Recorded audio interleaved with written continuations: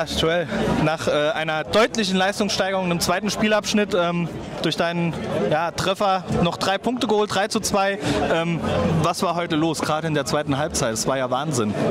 Ja, also im Endeffekt ähm, haben wir einfach nur gezeigt, dass wir, egal wie, es steht in der Halbzeit, äh, ob wir in 2-0 Rückstand sind, ähm, dass wir ein Spiel drehen können, dass wir die Qualität dazu haben, dass wir ähm, auch von der Bank aus Leute jede Woche äh, bringen können, äh, die, die, das Spiel drehen. Das hat äh, Platte gezeigt, äh, ähm, Göss hat es schon gezeigt, heute, heute hat es wieder gezeigt. Ähm, ja, ähm, wir, haben, wir haben uns anders vorgestellt, wir wollten natürlich nicht in Rückstand geraten, aber das kann passieren und ähm, wir haben gut reagiert und Mentalität gezeigt und ähm, das ist auf jeden Fall ein geiler Sieg heute. Ähm, wie war so die, die, die Stimmung in der Halbzeit? Hat es da äh, die, die Ansprache des Trainers geglaubt, dass ihr, das war ja auch von der Körpersprache ein deutlicher Wandel. Äh, Hat es da die Ansprache vom Trainer gebraucht oder seid ihr da auch ähm, intern selbst so? Weiß ich nicht, ich war nicht in der Kabine.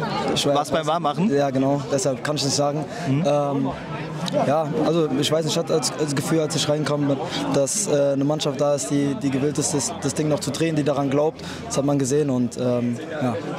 Hat auch geklappt. Äh, danke dir, war glaube ich, waren glaube ich äh, gerade die zweiten 45 Minuten waren richtig geil, kann man glaube ich auch mal so sagen. Danke dir. Dankeschön.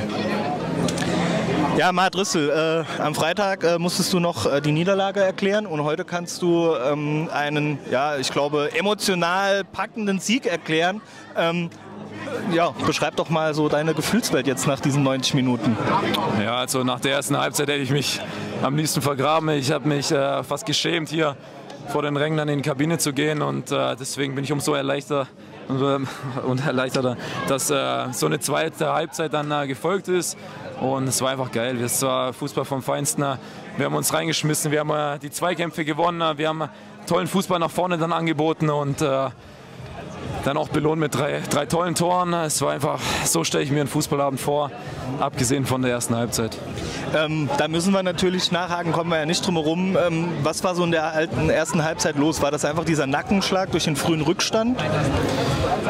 Ich, ich finde aktuell auch nicht die, die Erklärung dafür. Ähm, es war teilweise gab es Unkonzentriertheiten, gab es Nachlässigkeiten hinten wie vorne und äh, das war eine, ja, eine schwer zu erklärende erste Halbzeit. Es war träge, wir hatten kein Tempo, keine, keine Ballstaffetten drin ich hoffe oder ich gehe stark davon aus, dass der Trainer morgen oder übermorgen auch da wieder die richtigen, äh, die richtigen Worte findet, weil man darf die, die Halbzeit nicht vergessen, auch wenn jetzt die zweite Halbzeit umso besser war.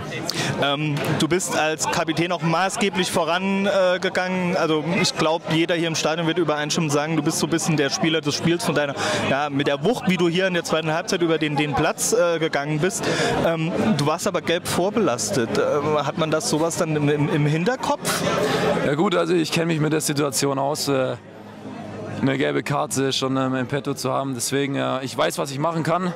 Und äh, ich weiß auch, was ich nicht machen darf. Das ist mein Spiel, da in die Zweikämpfe zu gehen, dann auch voranzugehen, unabhängig davon, ob ich die Binde trage oder nicht. Ähm, heute in der zweiten Halbzeit standen elf Spieler, die, die alles reingeschmissen haben und, und darum geht's. Habt ihr, glaube ich, geil gemacht, das können wir so sagen. Danke dir, Mart, und gerne am Samstag wieder. Sehr gerne. Ja, Göss, äh, mit deinem Anschlusstreffer hat es eigentlich angefangen, dem Spiel die Wende zu geben. Ähm, erklär doch mal so, ähm, ja, du bist in dieses Spiel reingekommen, vorher ist nicht so viel zusammengelaufen. Ähm, wie war es für dich auf dem Feld? Ja, es war relativ plötzlich, dass ich dann noch in der ersten Halbzeit gekommen bin. Ähm, man muss sagen, ja, wir haben eine bodenlose erste Halbzeit gespielt. Ähm, nicht mutig, keine Zweikämpfe. Gehen wir 2 zu 0 in, in Rückstand. Und dann hat der Trainer, würde ich mal sagen, die richtigen Worte in der Kabine gefunden, hat uns ein bisschen Feuer unterm Arsch gemacht. Ähm, und dann sind wir rausgekommen und haben ja, ein Feuerwerk abgeliefert und war Bombe. Ich glaube, es kann da auch schon in der zweiten Halbzeit nach 10, 15 Minuten der Ausgleich stehen. Ähm, was mich so ein bisschen gewundert hat, äh, wir haben viele hohe Bälle auf dich als Zielspieler gespielt, die aber auch, glaube ich, alle bei dir angekommen sind. Du hast auch alle, glaube ich, abgeklemmt. Ähm, warst du da so selber ein bisschen überrascht, dass du diese Räume von Kassel bekommen hattest? Nee, ich weiß, dass ich meine Qualität da im Bälle festmachen habe. Ähm, das ist das A und O in meinem Spiel. Hat richtig gut funktioniert. Die Bälle auf Markus abgekriegt, dann ähm, auf Eise rübergeht zum 2-2. ja, war unterm Strich ein sehr gelungener Tag für mich. Ja. Ähm, du hast gesagt, es war unterm Strich gelungener Tag. Ähm, natürlich freust du dich nicht, dass du in der Startformation nicht stehst. Ähm, wie gehst du persönlich mit der Situation um? Du hast jetzt genetzt. Ähm, ja, gerade nach so einem emotionalen Spiel, denkst du da an, an deine eigene Rolle, dass du sagst, ich will Stammspieler sein oder ist dir das jetzt direkt nach dem Spiel noch egal? natürlich, man ist immer gern Stammspieler. Das ohne Wenn und Aber. Natürlich, ich jede, hätte jedes, siebte, also jedes Spiel von den sieben gern gemacht. War natürlich lang verletzt, ähm, bin jetzt wieder super reingekommen, habe jetzt schon vier Tore ähm, für die kurze Spielzeit. Ähm, ich glaube, es passt so gerade gut, wie es ist. Ähm, jetzt fahren wir am Samstag nach Offenbach, mhm. wollen die dort weghauen mit einem geiles Spiel vor 8.000, 9.000, 10.000 Zuschauern. Und ich glaube, jetzt können wir uns richtig darauf freuen nach so einer Leistung. Danke dir, Göss. Ähm, Gerne. Viel Erfolg am Samstag in Offenbach. Dankeschön. Ja, Timo, Glückwunsch zum Sieg, der glaube ich nach 90 Minuten unterm Strich auch durchaus verdient war. Ähm, du so als Trainer, was überwiegt jetzt mehr? Ähm, Gedanken über die erste Halbzeit oder freust du dich jetzt einfach mal über die, für die Jungs auch, was sie in der zweiten Halbzeit hier gezeigt haben? Natürlich freuen wir uns unheimlich äh, intern oder innerlich fühle fühl ich mich gerade äh, super gut. Ähm, es hat aber sehr viele Nerven gekostet. Ähm, ich habe gerade auf meinen Puls geschaut, der ging eigentlich. Ähm, aber nochmal, was die, was die Jungs in der zweiten Halbzeit gespielt haben ähm, so kenne ich meine Jungs, so können sie spielen. Ähm, klar, wir haben uns in der ersten Halbzeit anstecken lassen von unserem ersten Fehler. Ähm, es passiert, aber nochmal, wir dürfen uns dann nicht irgendwie dann irgendwie in Selbstmitleid dann äh, verfallen, sondern äh, wir müssen dann weiter, weiter spielen. Aber dann haben wir komplett den Faden verloren. Wir haben, es war die schlechteste erste Halbzeit, die wir, die wir gespielt haben, seit wir zusammen sind. Ähm, in der Halbzeit war es natürlich ein bisschen lauter, ähm, aber was die Jungs dann in der zweiten Halbzeit geliefert haben, auch die Jungs, die dann eingewechselt worden sind, ähm, die Mannschaft lebt. Ähm, es war heute äh, ein purer Sieg, ein purer Wille, äh, pure Mentalität in der zweiten Halbzeit und ähm, ich freue mich unheimlich für die Mannschaft. Ähm, das gehört, glaube ich, auch dazu. Du hast ja, mehr oder weniger den, den, den äh, Sieg eingewechselt. Göss macht einen Treffer, Joel macht einen Treffer. Ist das vielleicht auch eine Stärke, die wir einfach diese Saison haben, dass wir gerade offensiv über eine Breite verfügen, die ja, jeder von denen kann quasi ein Spiel auch mal entscheiden?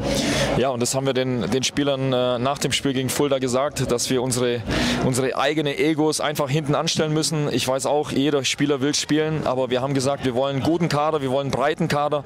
Äh, den haben wir und äh, wir können immer auswechseln äh, und da kommt immer ein neuer Schub dazu und ich glaube, dass die Jungs das äh, auch begriffen haben und dass sie sich äh, genauso freuen, wenn jetzt zum Beispiel der Gösten Tor macht oder Eise oder David oder sonst wer, dass man sich alle freut, weil es geht ums Team und das ist halt für mich persönlich als, als Trainer ein unheimlich äh, großer Stellenwert. Das, ist, sind Werte, die ich vertrete, ein absoluter Teamplayer und die Mannschaft muss zusammenwachsen. Wir wachsen zusammen, es von Woche für Woche wird es besser.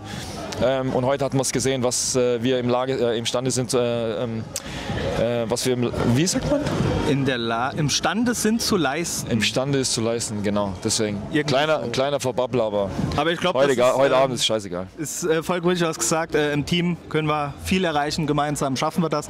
Ähm, wir sehen uns in Offenbach, dort hoffentlich wieder mit gutem Ausgang. Danke dir, Timo. Danke auch. Danke.